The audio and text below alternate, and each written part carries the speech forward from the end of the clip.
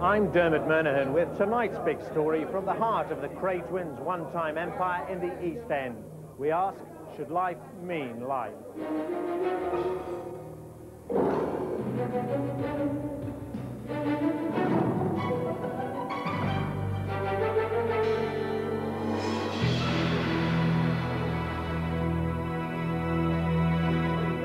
Good evening from the Blind Beggar pub in East London, scene of one of the most notorious murders ever. We're here for the first of a two-part big story special on murderers. Why are some kept in jail for most of their lives and others let out after just a few years? Well, yesterday John Major hit out at Liberals and said prison does work. He says it stops criminals committing crime.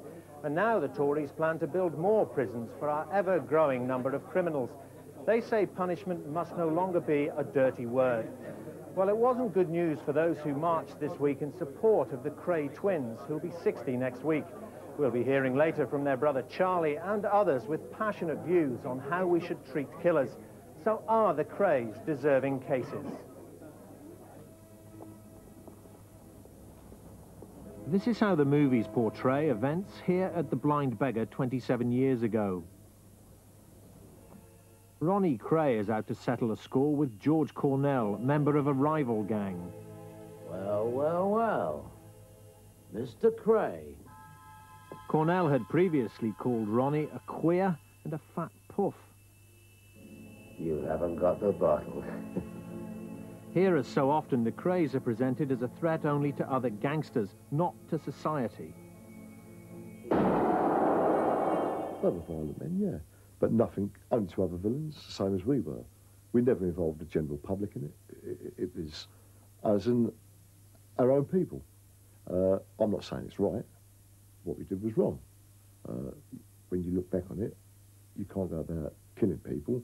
But I don't think it was it was done in that sense. The sense I'm talking about, we was all villain. They would have done to us what we'd done to them. They did do a murder, yeah. Um, but as I said, they kept it in the confines of their own little world. They never, uh, things you hear today, I mean, ordinary people in the street get mugged and bashed up and old ladies, they were never into stuff like that. Reggie and Ronnie, world-class villains you could trust with your granny's purse. Well, that's the image the unrepentant Krays have still done nothing to dispel. They appeared in public with real heroes, but in fact, Ronnie was a brutal madman first certified insane in 1958. Throughout the 60s, the twins ran extortion rackets and terrorized London's clubland, taking part in violent assaults themselves. They were brazen, even going on TV after their acquittal on an extortion charge. A lot of people have got the impression from this trial that Clubland, London, is very tough. Do you think it is? You run a couple of clubs. Well, in all clubs you get an occasional drunk, you know, and sometimes have to be slung out, and that's why there's doormen and that. But um, I suppose it's like clubland all over the world, really. It's just the same as... I don't suppose it can be that bad as people won't go to them, really, would they? Ronald, what do you think about clubland in London? Well, I think uh, most clubs are very respectable, you know, and uh, I don't think there's any trouble at all in them, except occasionally. Jack the Hat McVitie was an occasional drunk who caused the Krays trouble, so they murdered him. First, they enticed him into a flat in Stoke Newington. Reggie jumped in, and he put a gun behind his head and tried to shoot him. Run! But the gun failed to go off. And next minute, a knife was pushed into Reggie's hand, and he stabbed him. And that was that. He went down. He was dead. McVitie was killed for cheating on the twins. The Krays have never shown remorse for his murder. I would have done the same thing if I'd have been in Reggie Kray's shoes, in his position. You've got to understand who Reggie Kray was. He was at the pinnacle of his, of his career, if you want to put it that way. And to see Jack McVitie try to belittle him like he did, you can have that. The Kray twins were finally convicted in 1969. They were given life sentences with a recommendation they serve a minimum of 30 years. As the judge said, and he said this after the trial, these sentences will dim their minds so they'll never commit these crimes again. Their gang was destroyed, and many believe the long sentences deterred others from stepping into its place.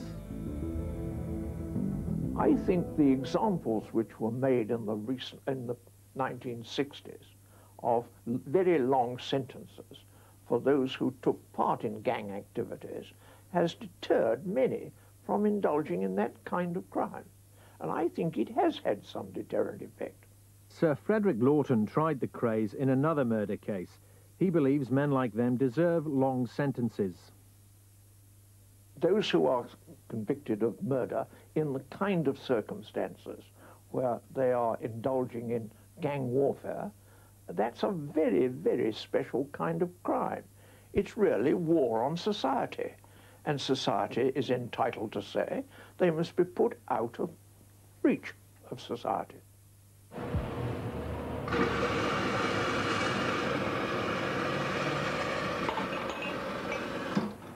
In their heyday, the Krays used to hold court every morning here in the Pellicci Cafe. They used to sit at this very table. Then they were the predators. Today, they portray themselves as victims. They claim that they've been deliberately kept in prison because of their notoriety. But is this true? We've done a study of other criminals given life sentences at the same time as the Krays. Between 1965 and 1973, four years either side of the Krays conviction, 947 people were given life sentences in Britain. According to the most recent Home Office figures, which go up to the end of 1991, 121 of these prisoners, nearly 13%, were still in jail. The Krays are hardly alone, and they're certainly not the most obvious candidates for early release. Jack Jowett, for example, has been in prison since 1960. He murdered his wife in a crime of passion. He was certainly no gangland premeditated killer it's unfair to detain someone for as long as 34 years for committing a domestic murder.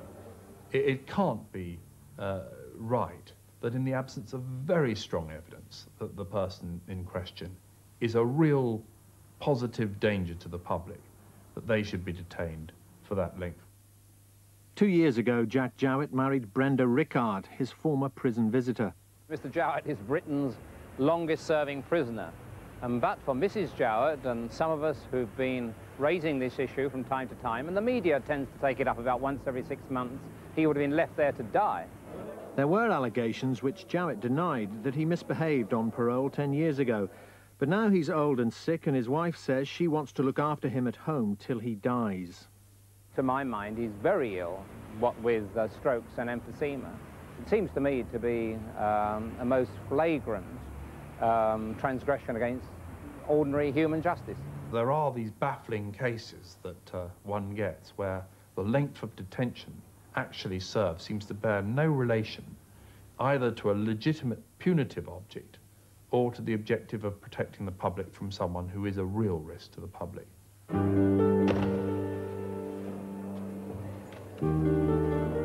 Baz Lewis pleaded guilty to murder in 1968. It was another crime of passion. His chances of release have been threatened by an unproved claim that he committed a crime when on home leave four years ago. Prison service never investigated the truth of the allegation, and despite Mr Lewis's denials, and despite the fact there was good evidence that he was nowhere near the incident in question, he was in fact taken back into the secure part of the prison system, and his release was delayed by uh, a number of years. He's still currently in custody.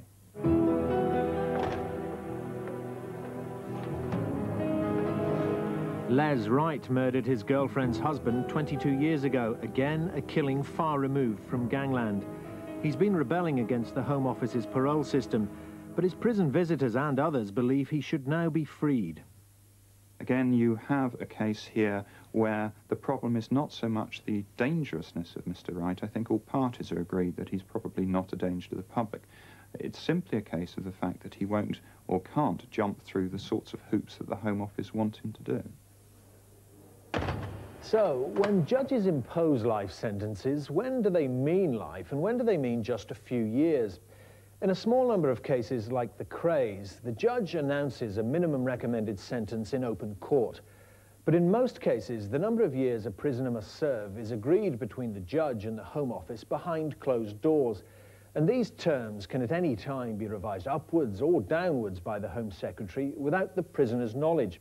Nobody knows what life means. It certainly doesn't mean life in the vast majority of cases.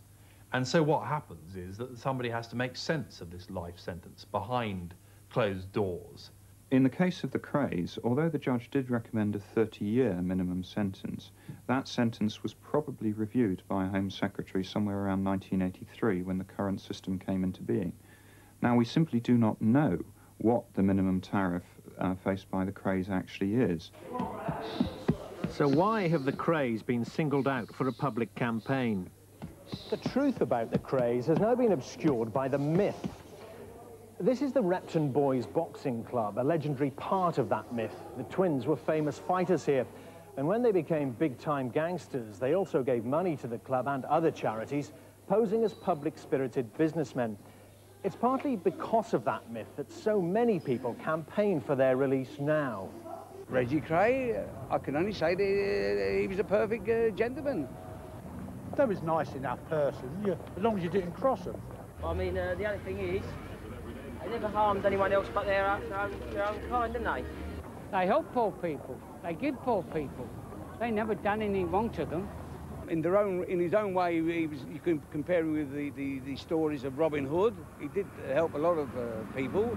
I th if I think if they was out now, we wouldn't have had this uh, trouble we got.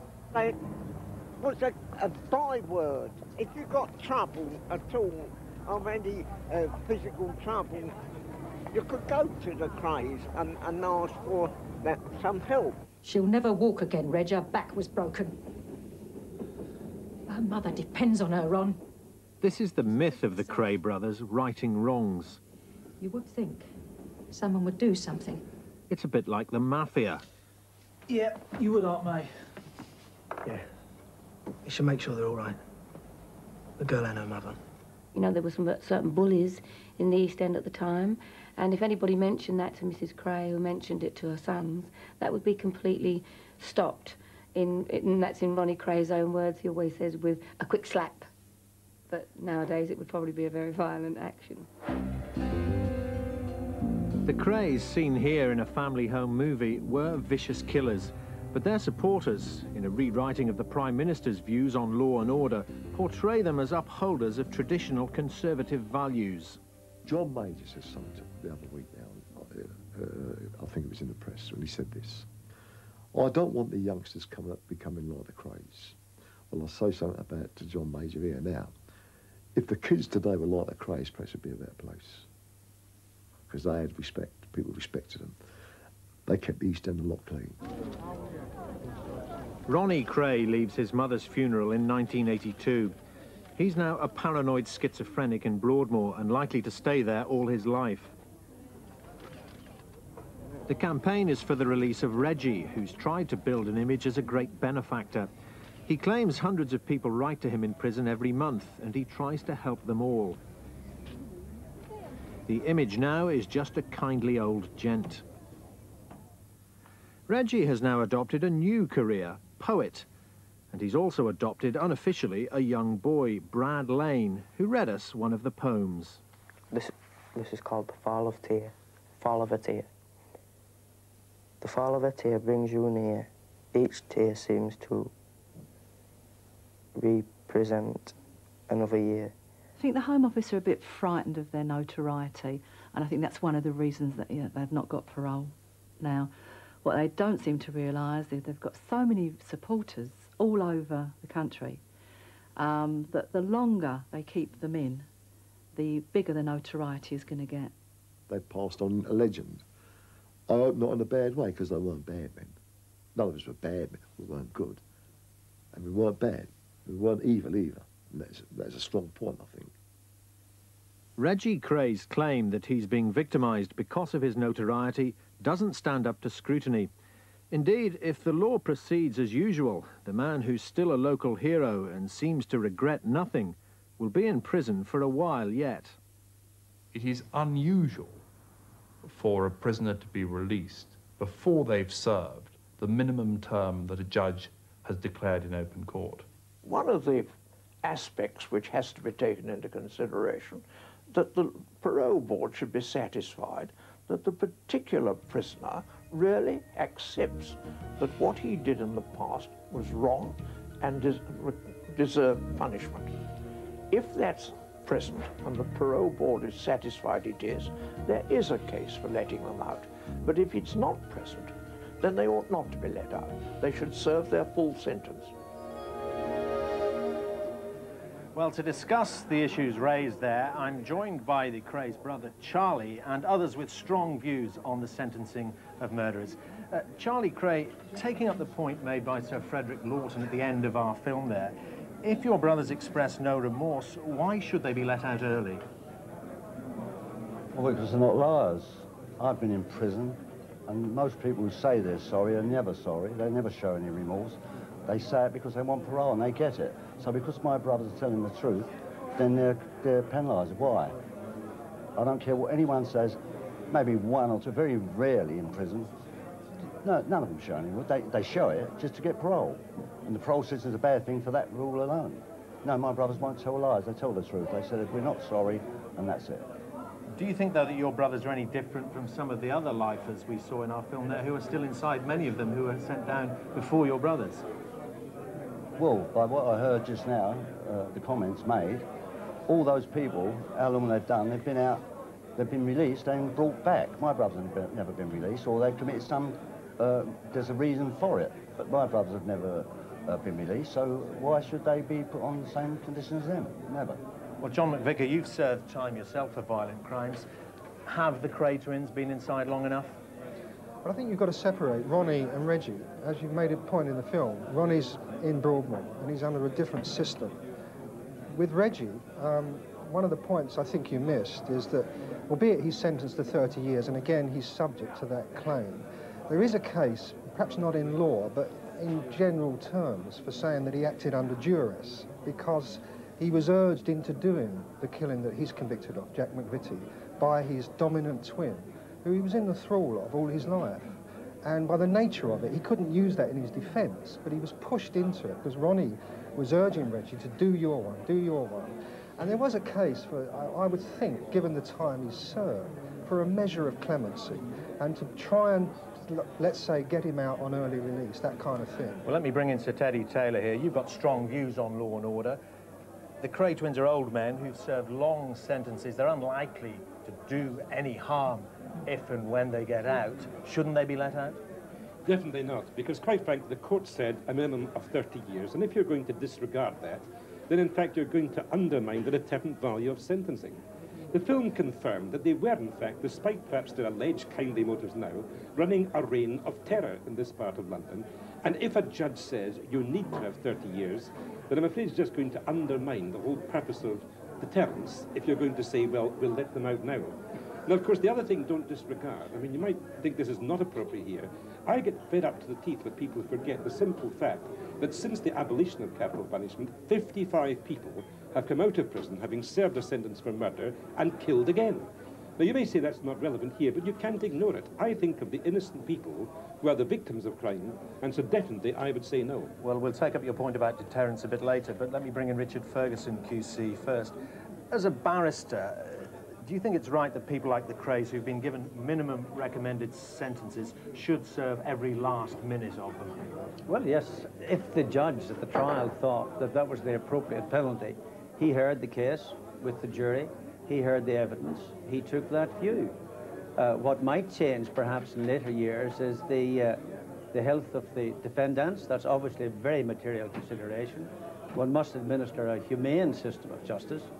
Uh, but uh, for my part, I think before one could answer this question, yes or no to the release, one would have to know a lot more about the, uh, the background. I would like to know more about whether the police are satisfied. There's no risk of any return to any former activities? I assume not. But these are the sort of things that the public would be concerned with. Well, let's touch on the broader point. If Sir Teddy and other members of the Conservative Party have their way, our prisons are going to be filling up with people, not just murderers, serving longer and longer sentences. Yeah. Is there any evidence that the longer a sentence is, the more it acts as a deterrent? Absolutely not. And, and I think the, the sad thing is that uh, in the turmoil created by law and order becoming a political football, it's become very easy to uh, pander to certain sections of the community by saying lock more people up, lock them up for longer, as if that's going to solve the problem. Uh, it doesn't solve the problem. All we're going to do is have our prisons more and more crowded. It'll cost us more and more money. And will it work? Well, Charlie Kray, did your brothers help solve the problem while they were here? We heard in that film that they acted as pillars of the community. Did they help keep other criminals from acting on this patch? Uh, they tried, they stopped them. No one seems to other people like they do today. And that gentleman there mentioned something just now about people, um, 55 people being released and killed again. Of course he's right. I'll tell you what he's right about. Not about the twins, about them.